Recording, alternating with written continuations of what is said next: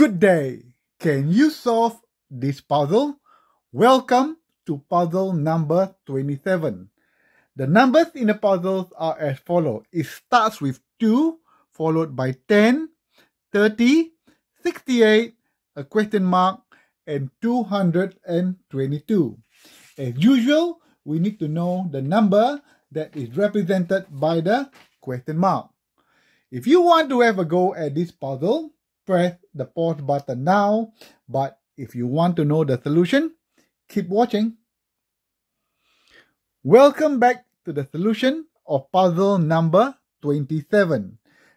Can you solve the missing number in this puzzle? The puzzle starts at 2, followed by 10, 30, 68, question mark, and 222.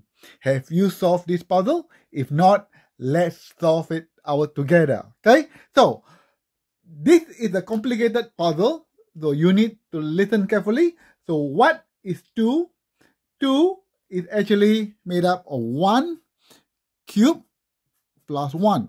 1 cube is still 1 plus 1 is going to give you 2. Okay? The second number is 10. 10 is the same as 2 cube plus 2. Okay, so 2 cube is 8. 8 plus 2 will give us 10. Okay, the next number is 30.